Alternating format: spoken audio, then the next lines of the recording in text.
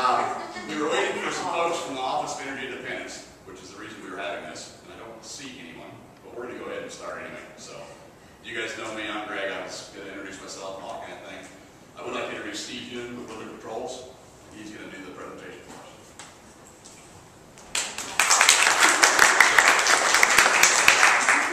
Thank you.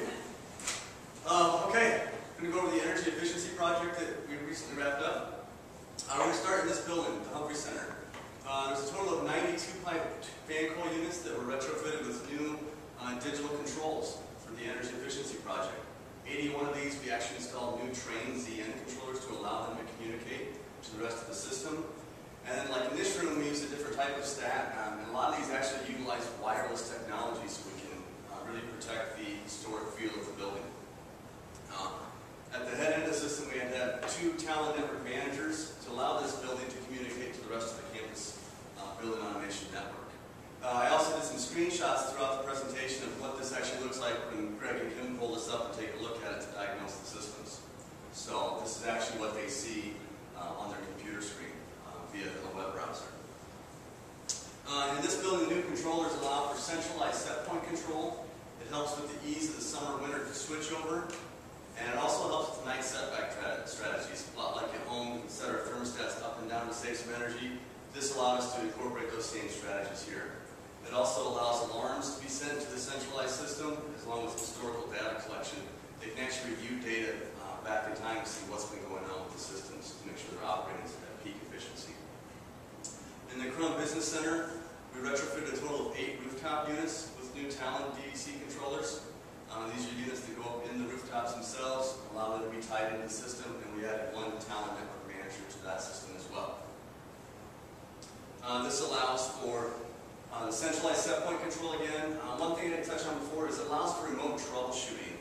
Uh, what that means is when there's a deficiency in the um, HVAC system, it allows it to be more easily seen, brings it to the, the top of the surface. They can fix the problems quickly. Uh, it helps everything that's running as anticipated and as designed. It's actually running as efficiently as possible to save energy. In the Cowles Communication Building, we retrofitted 18 heat pumps in the ceilings uh, that deliver the air conditioning heating to the spaces. They're now um, retrofitted with Talon Predator controllers. And we also retrofitted what we call the central plant. It's the main pumping system, the cooling tower, the boiler system, things like that, with some Talon controls to bring them onto the system as well. Uh, we also added one Talon network manager to the entire system. Again, allows for our centralized set point control, remote troubleshooting, uh, alarming, and historical data. And again, they can see the floor plans. They can, with one quick glance, take a look at the system, see what all the temperatures are doing, see what the alarms are, things like that. And we actually have pictures down at the zone level as well.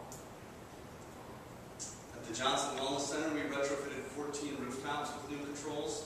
We also retrofitted 29 VAV boxes in the space. Those actually vary the air volume going through the spaces uh, for occupant comfort.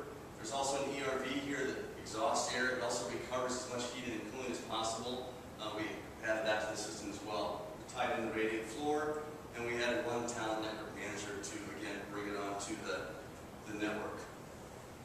Again, we get the same bang for the buck, centralized set point control, remote troubleshooting, uh, the night setback, um, and the histories and alarms. And again, we have the pictures of uh, what they kind of see when they look at it. We can actually uh, incorporate things with the, what the weather's doing outside to make sure we're always operating as efficiently as possible.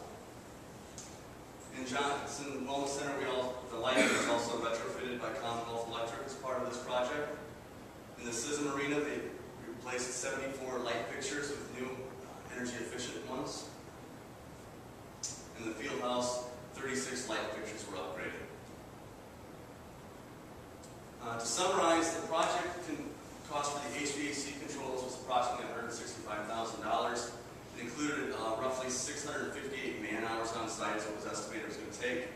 And I listed the energy savings payback. What that actually is, is the number of years that the energy savings will actually pay for the system. It's kind of like um, a short-term loan. The system's borrowing its own, uh, it's paying itself back.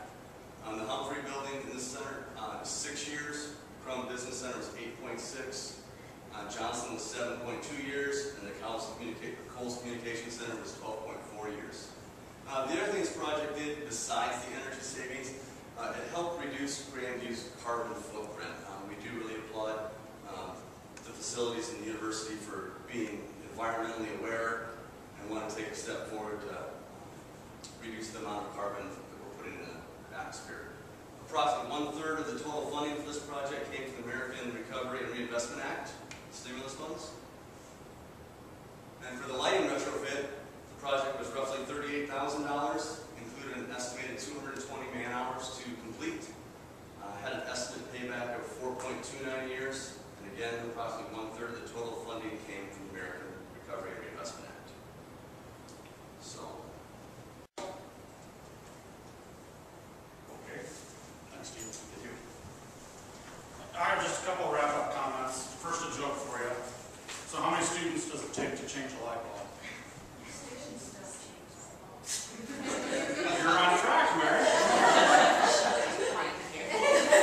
Not quite the reason, though. It's none, but it's because they're bright enough, and especially Grandview students are bright enough. I didn't even finish yet. Okay, are we not be standing committee? Grandview students are bright enough to use compact fluorescent bulbs that don't need changing. Not the funniest joke. in the world. I'll give you that, but I think it ties into what we're, what we're doing here today and, and the reason that we did this project. We're looking for energy savings, uh, which is only gonna save our students in the long run. It's gonna, um, avoid them having to pay as much in tuition to Grandview. So that's a good thing.